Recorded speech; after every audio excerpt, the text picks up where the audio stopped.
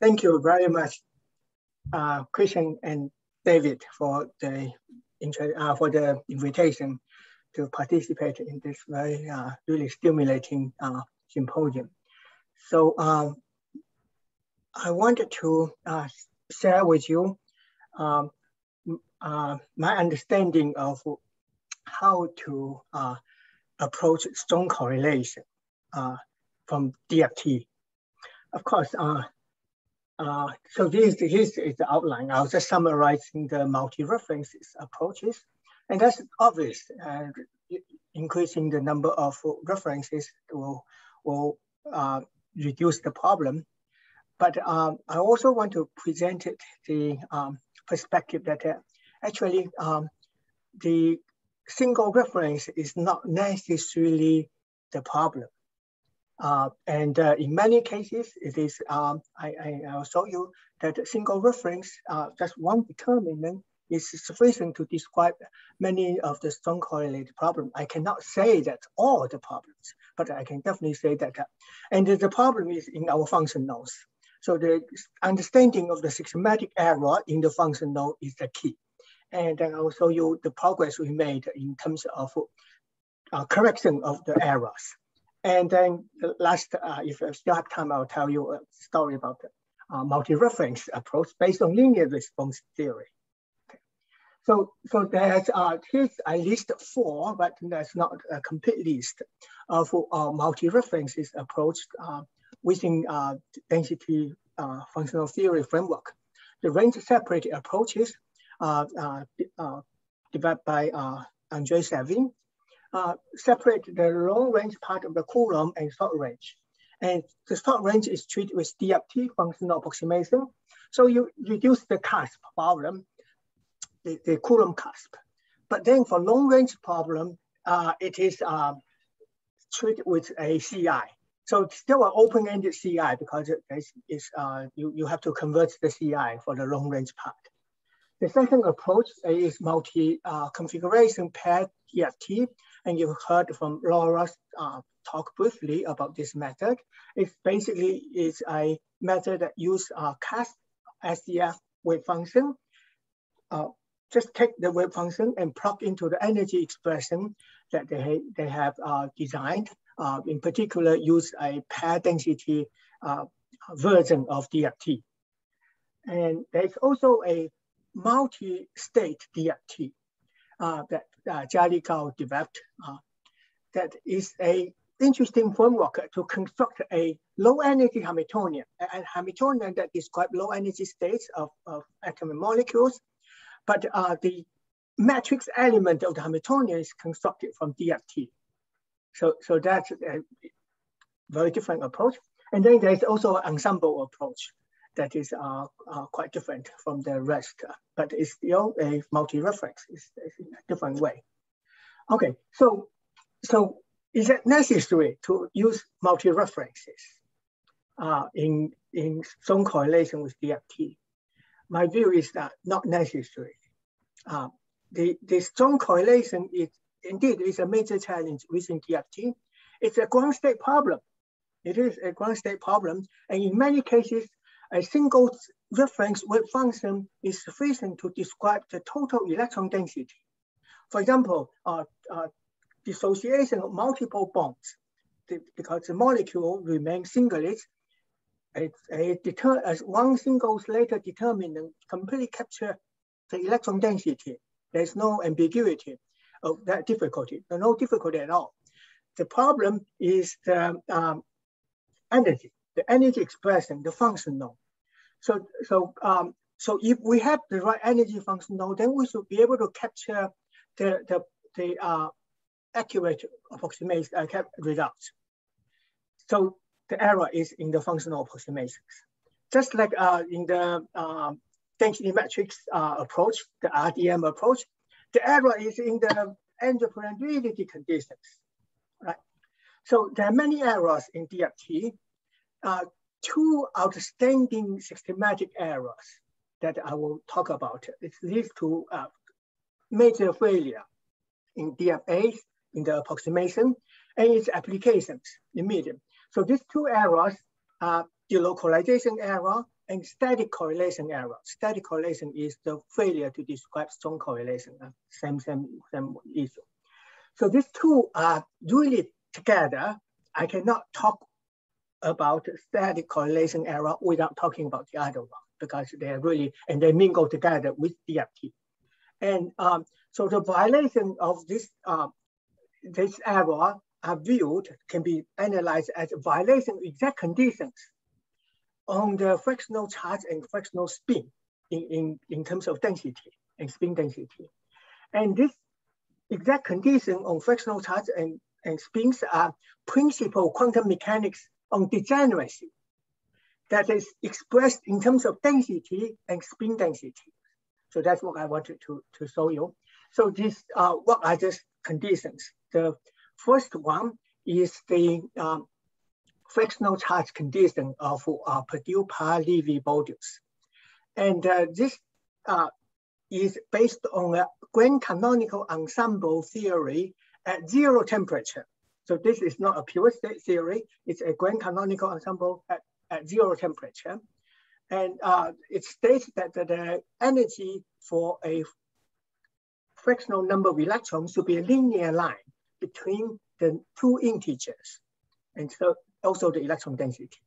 So this is um, a uh, very interesting result, but it's not from, it's not, it's difficult to relate to the dissociation chemical bond, for example. But um, in uh, 2000, we have presented a, a completely different proof and also more results of degeneracy. And this is boiled down to, actually, it's not about ensemble It's about this linearity of quantum mechanical equation. The Schrodinger equation is linear.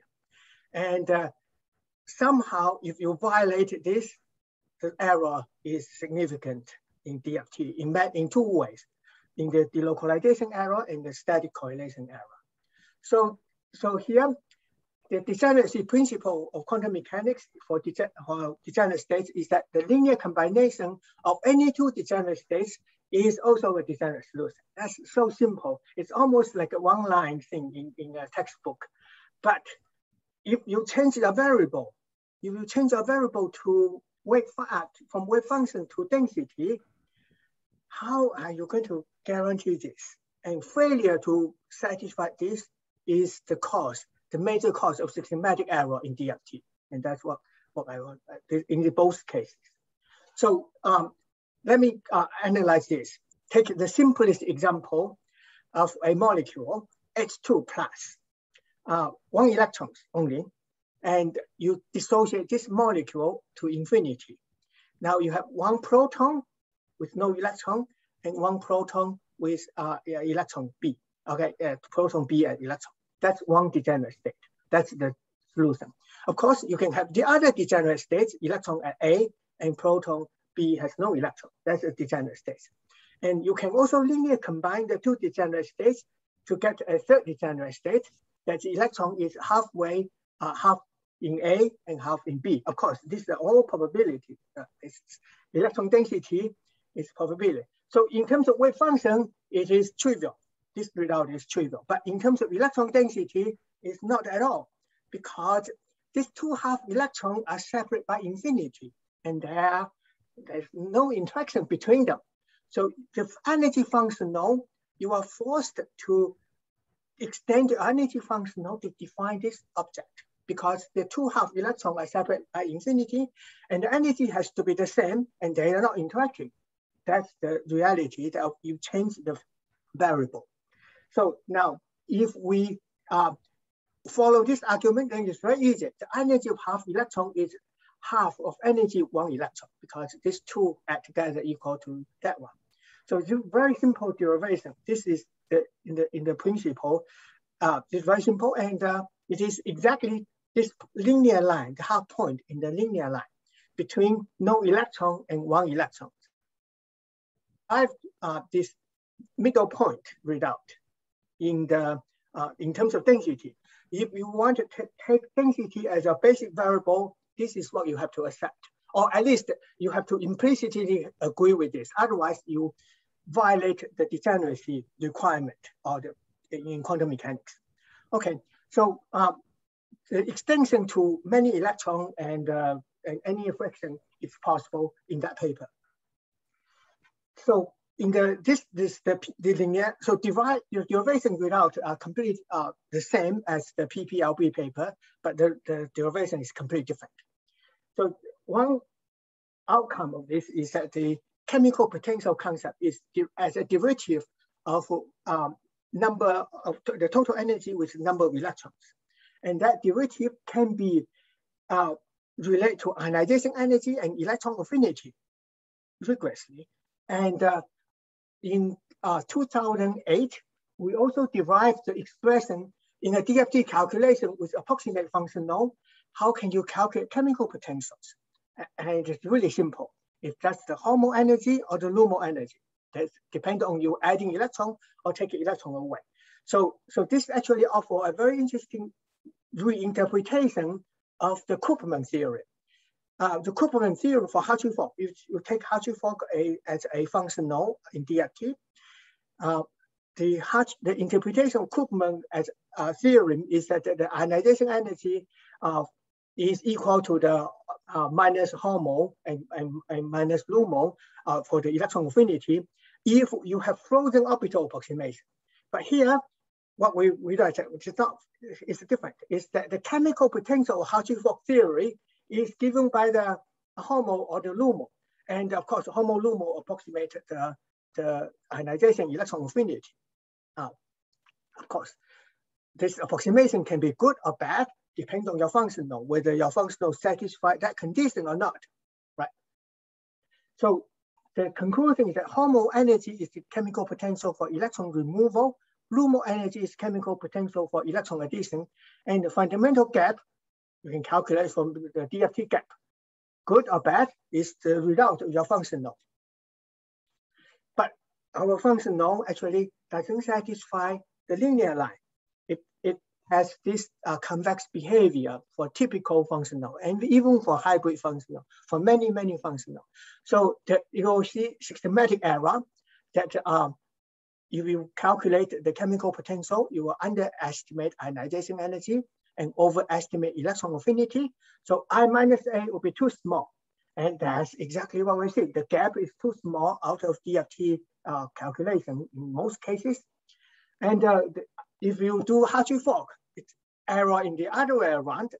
And that's the local, uh, then that's the um, localization error. So, and uh, they uh, it also have a uh, because the convex behavior, half electron, two of the half electron is always less than the integer one. So the, the, your calculation, if you have any way to spread out your electron, you will always spread out your electron and lower the energy, and incorrectly because you the functional do not respect the degeneracy principle in quantum mechanics. Okay. So, so we call this localization error and this delocalization error. And delocalization error is pervasive in, in all the functional calculations. And uh, um, I'll skip that. There's list of problem, uh, including wrong dissociation limit, too low reaction barrier, uh, overestimate uh, molecular conductance, band gap too small. It's all coming from delocalization error. So, uh, and there's, the, the, dissociation is in this H2 plus, this molecule. This is actually the molecule led us to think of the, the fractional problems. When you dissociate this to infinity, uh, Hartree-Fock is exact because one electron, but all the functional give you too low energy because of the delocalization error. Fractional distribution or spread out distribution, the energy is too low. And because your functional doesn't satisfy that requirement of degeneracy at the end. Of course, the design is only happens at the end. And, uh, and so you see on the left-hand side is the failure in chemistry. And on the right-hand side is analyzed in terms of exact conditions. And the delocalization error is well defined in terms of the exact condition at the limit, of course.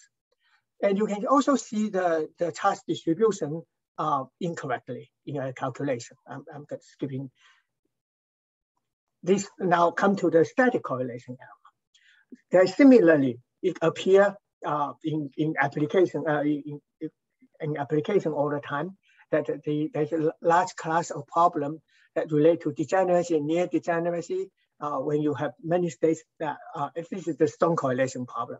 And the, two, the analysis, the, the fractional spins. So let me take H2 molecule as example. Adding two, adding one electron to the previous problem. So here we have um, a spin down electron at the dissociation limit. You have one hydrogen atom with spin down and one hydrogen atom with spin up. That's one determinant. Well, you can uh, also have the opposite, switching that degenerate solution. So these two are degenerate answer. And uh, you can linear combine the degenerate answer to get this one. And that's the symmetry preserving answer. And this answer is elect one electron with half spin up and half spin down. So the condition is that now the energy of a one electron with fractional spin with half, half up and half down has to be equal. So this is the fractional spin condition. And uh, actually we can prove that this, is, this energy has to be a constant across the entire line of uh, spin polarization, not just in the middle. The middle is what I show you, okay? So, so this is the, now we can characterize this as static correlation error in the functional. The energy is too high for a fractional spin object. And that's the end of this dissociation limit. And this is the condition that has been violated for approximate functional. So what are the known functional uh, conditions now? The fractional charge from uh, the 1982 paper, fractional spins that developed in my lab. And then we have also combined these two into fractional charge and fractional spins. So these are the conditions on the exact function functional. And its violation, you'll see uh, very, very clearly chemical behavior that is wrong, described incorrectly.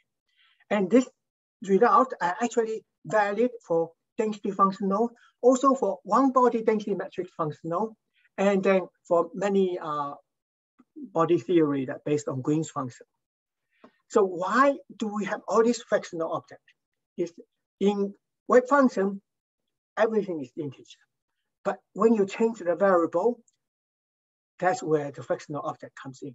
And uh, Green function, electron density, or one density matrix, you, you will have to have this fractional object. So the um, uh, I'm going to skip this. Uh, the chemical, uh, this paper summarized our understanding. And now I want to describe how do we go around to solve this problem. So the H2 plus, again, is an inspiration uh, for us. I will describe why it's so hard. So the correction should happen at infinity.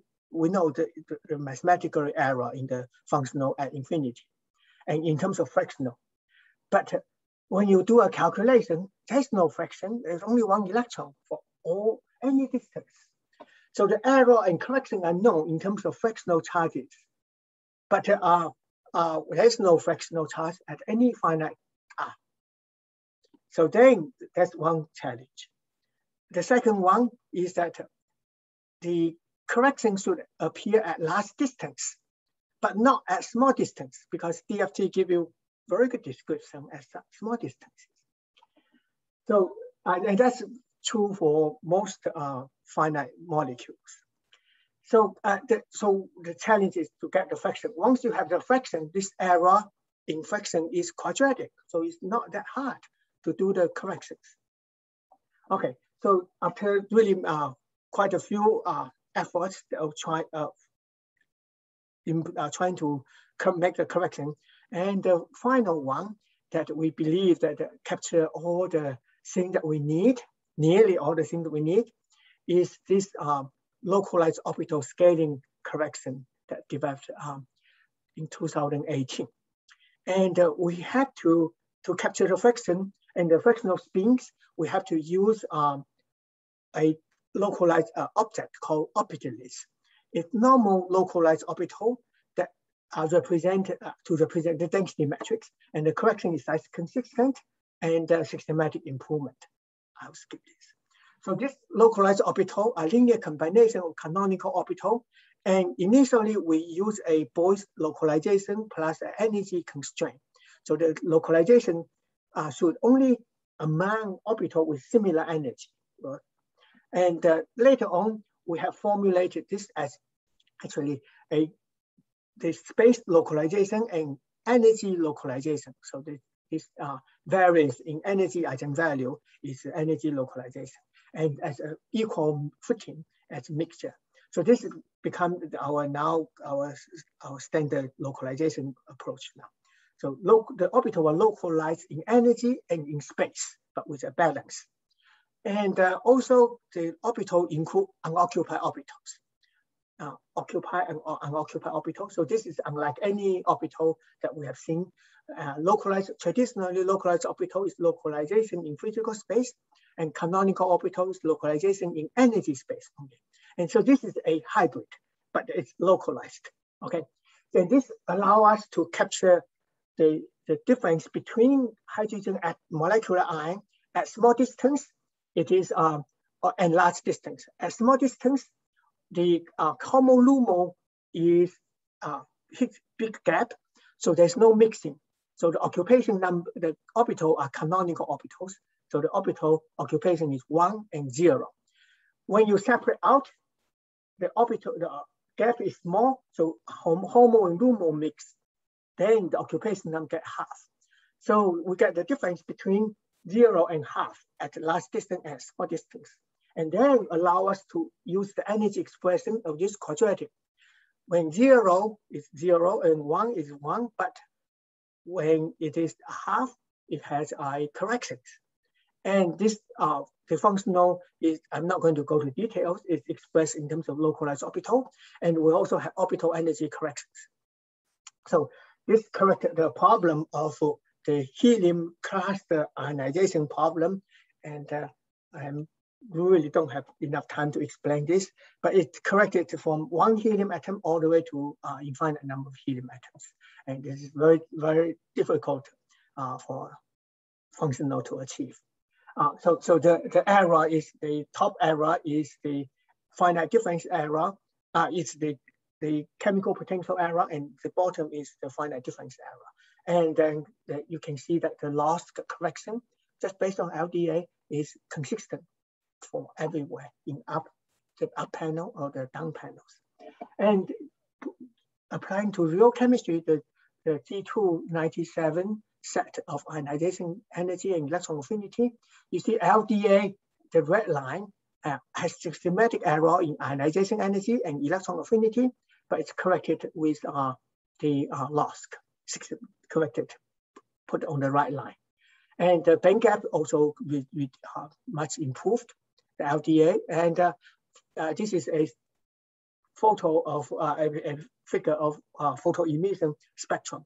Photo emission spectrum that calculated from uh, LOSC based on DFT or GW. You can look at GW. So LOSC photo emission without are similar to GW. GW is a green function approach, much more expensive.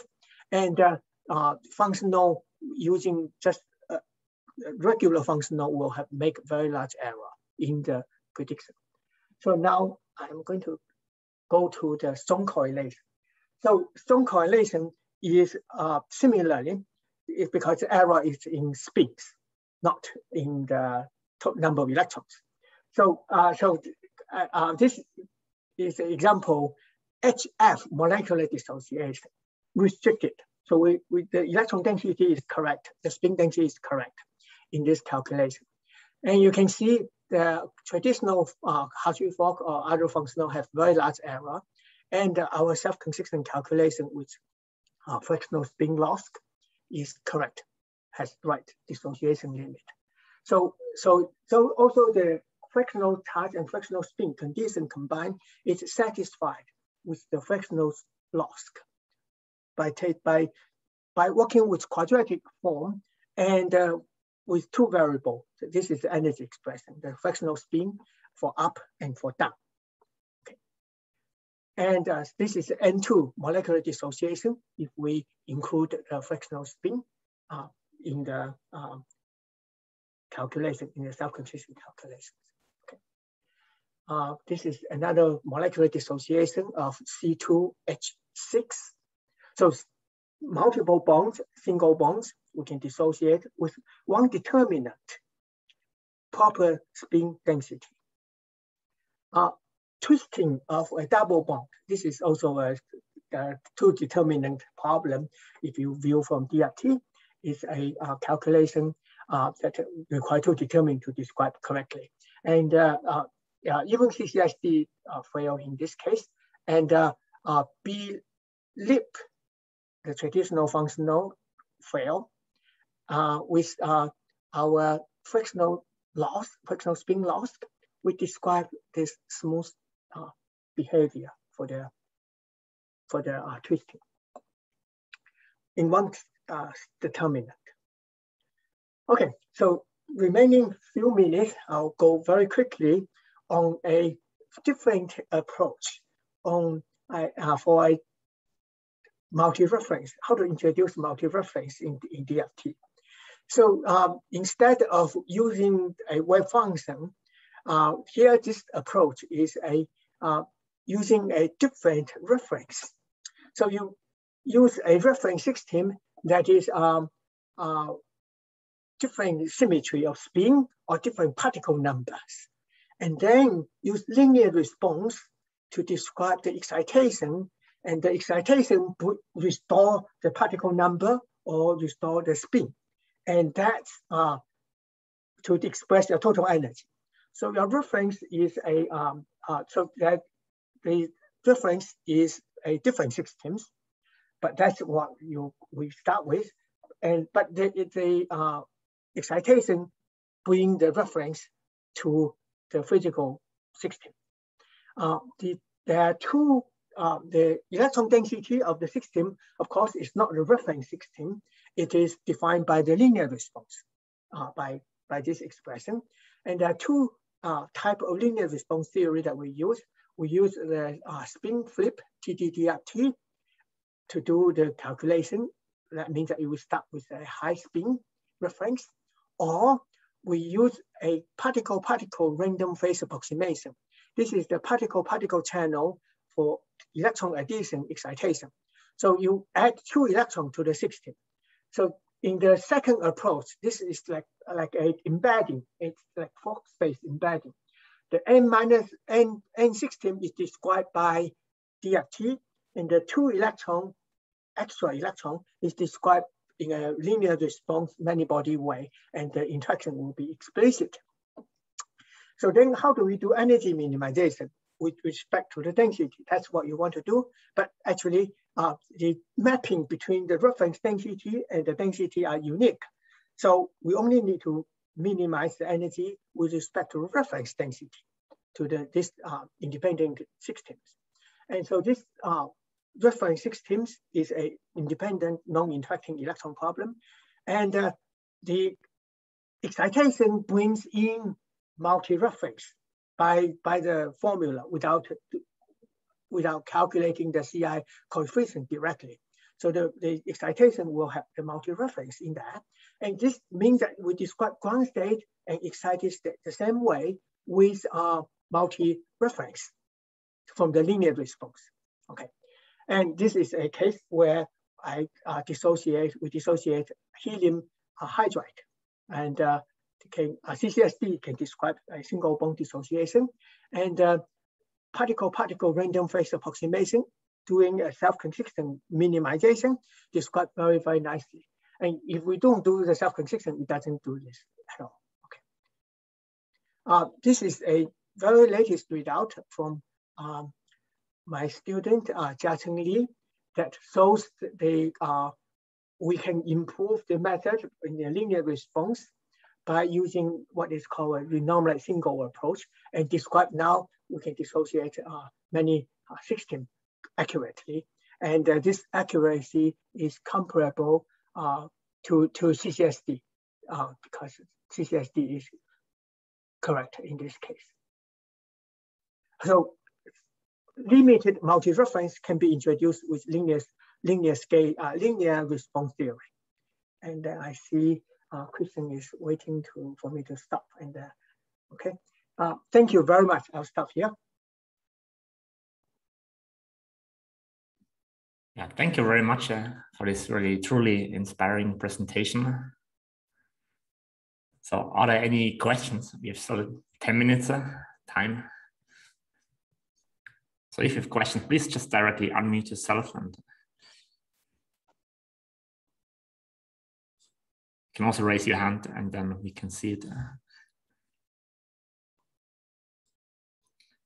So maybe I can I can start with the first question because Weitao, you kind of uh, our DFT expert here at this event. Uh, so I have kind of a more general question. I mean, which goes maybe to some extent beyond your presentation. I'm just curious to hear kind of your assessment uh, of the progress in density function theory the last 10 years. And do you kind of, are you kind of optimistic that these uh, deficiencies of the state of the art that you listed on at the beginning, that they can be overcome, let's say the next 10 years? Um, I, yeah, I think this is a very good question. And I ask myself all the time the same question too. And uh, the, the progress, uh, we, we see definitely quite a lot of progress. And for example, this, uh, this kind of one determined functional approach.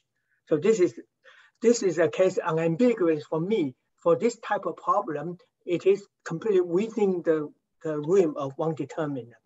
Of course, you don't have to stay that, and it will be much easier on the functional. If you use multi-reference, it will be much easier on the functional. But it is a, this is a, but here, however, is that DFT functional is universal. So, so this functional that doing this can also do a lot of other things same time. So, so DFT, um, the, the advantage of DFT is that, uh, well, I believe there's only one, uh, I believe in the universal nature. Then we wanted to debug functional that describe all the things that it should describe. And strong correlation for this type of problem is definitely within that. So, so um, yes, you can walk away from DFT or modify it so that you can use multi-reference and, uh, and then uh, multi-determinant uh, as a wave function but it's hard to to be uh, a a uh, what do I say a universal approach. That so it may be so. For example, you do a CAS calculation, then you have to decide on the number of CAS for this problem, and then also the, the functional definition is not clean. It's not rigorous. So so here I'm staying with exactly the functional definition without uh, bringing uh, complexity. So I believe it is it is possible that that uh, DFT can achieve uh, good accuracy. So I'm not we're not going to expect uh, easily the accuracy of of very very high accuracy uh, couple cluster calculation for some systems, but we we should expect a uniformly good performance without traps because right now we're seeing, oh, this is a trap. If you do this, you get qualitative wrong answer that I think trap can be avoided. That's my, my belief. And you will end up with a functional that have probably application and then and without it, uh, encounter huge challenges. But the accuracy wise, uh, that's a different stuff. Precise accuracy, the precision, then it's challenging. How to improve that? I don't have any clue. How to improve the precision. But systematic error can be corrected. Oh, the bottom line, systematic errors, once understood, can be corrected.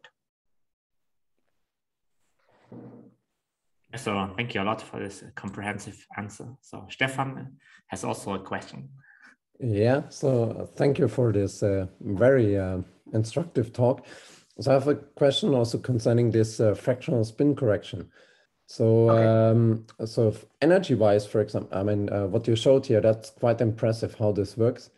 And so I've been wondering, I mean, one challenge that you also listed is, for example, in transition metal complexes, uh, one thing that people uh, look at is, for example, spin density distributions.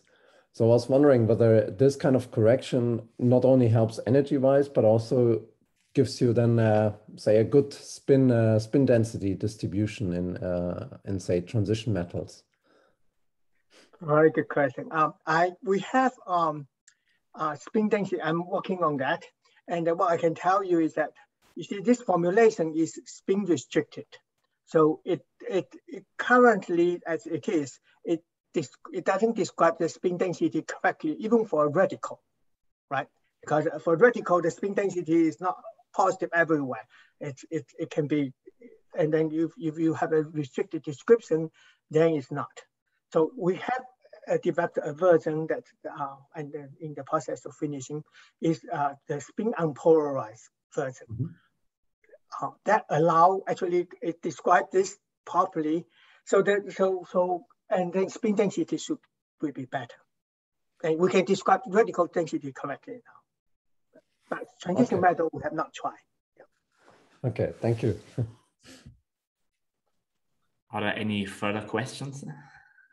Weitao, beautiful, beautiful talk. I really enjoyed all the pieces there. A lot to digest, a lot of great ideas and insights. It's always always a pleasure to hear you talk. So thank you so much for this first talk of this of the session. I do have a, a follow-up question on, so I guess the functional, when you approach it this way, you're sort of building in um, sort of natural symmetry breaking. Is that correct? I mean, you can capture some degree of symmetry breaking, which in often conventional DFT, symmetry breaking has to be imposed often in, in problems involving transition metals and other things. yeah, so so so just take this example, um, this nitrogen dissociation. Uh, symmetry can break at infinity, and that will be still be the right answer, right? So and as of course at last enough distance, the symmetry broken solution is also give you the right answer in energy.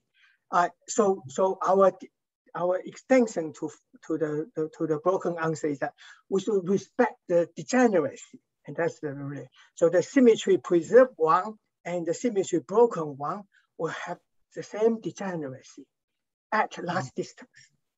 So, so, so that built in uh, uh, broken symmetry as a solution, yes. I see. Without restricting it to a, to, to a completely uh, spin restricted calculation. I see, right. So basically that falls out naturally. As soon as one has the extension to deal with essentially the multi-determinantal nature of the wave function, that's the more general problem in the delocalization error. Once you have that understood, then the symmetry breaking is a natural consequence of, of that to some extent. Yeah. It comes out. Okay, that's very nice. But symmetry broken is only acceptable at infinity, see? But energetically it's okay for a long, long distance. Mm-hmm. And then, then so so your function don't need to capture that. That's that's mm-hmm. my, my, Wait, John, thank you. Great. Yeah. Are there any further questions? The audience, we still have like three, four minutes.